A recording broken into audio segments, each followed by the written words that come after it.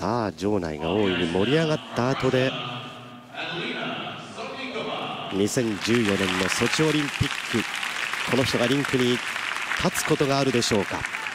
16歳にしてすでに3度ロシアチャンピオンになりました。2011年の世界ジュニアチャンピオン。アデリナ・ソトニコワ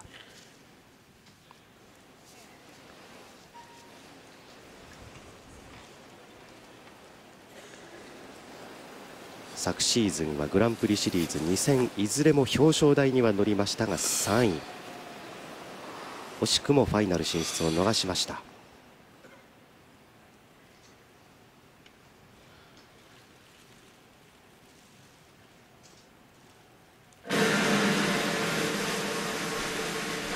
ロシアの16歳アデリナ・ソトニコワスペイン基礎曲。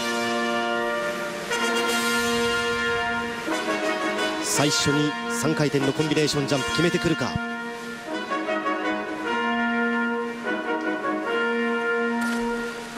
トリプルトーループトリプルトーループ余裕を持って決めてきました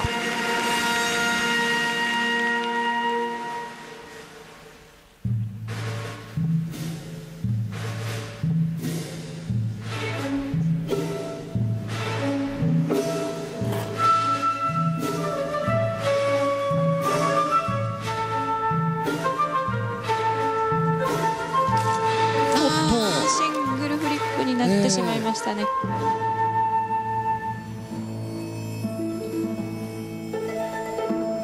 バタフライから入るキャメルスピン。綺麗なポジションですね。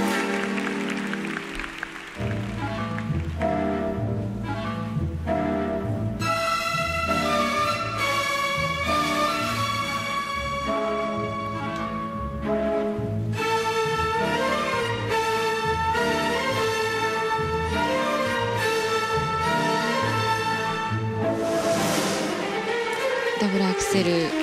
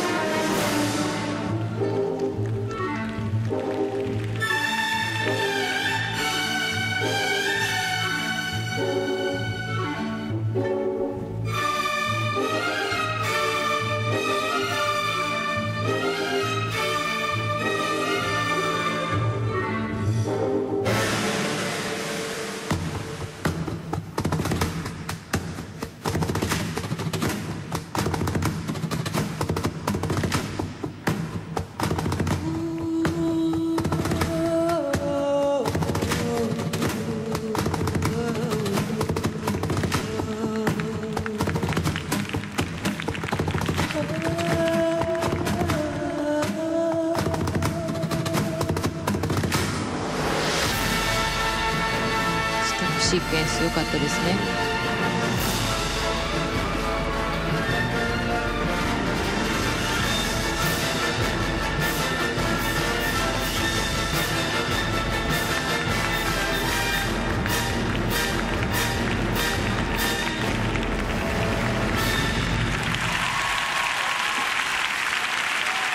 ロシアアデリナ・ソトニコワです。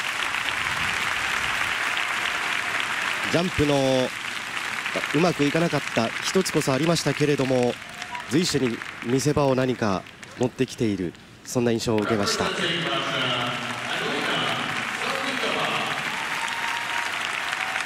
横谷さんどうだったですか？うんあのトリプルフリップがシングルになってしまった、まあ、大きなミスが出てしまったのではい。ショートプログラムですからちょっと点数は伸びないかもしれませんけれども、あの他の要素スピンであるとはいかステップ、あの頑張っていたと思います。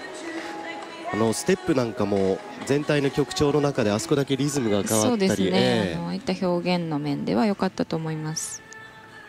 これは最初のコンビネーションジャンプこれはあの流れがあって良かったと思います。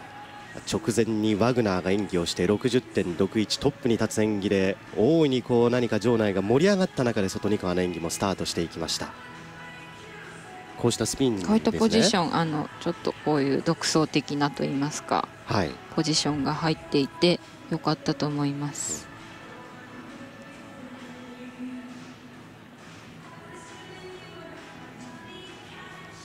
このダブルアクセルの高さ、流れ非常に良かったと思います、はい、ジュニア時代にとにかく圧倒的な成績、実績を残してきてジュニアグランプリファイナルでも2010年優勝しました。ロシアチャンピオンには12歳でなって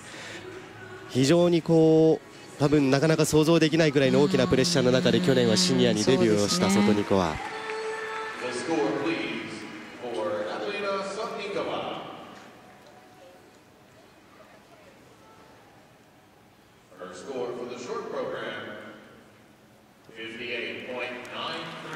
ロシア、ソトニコワの得点が出ました58.93という今アナウンスがありました。